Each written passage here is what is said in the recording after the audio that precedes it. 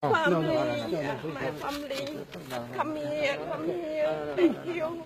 Yeah, early for thank you for my family come here because they busy up there. I'm so scared.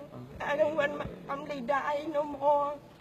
Please help me.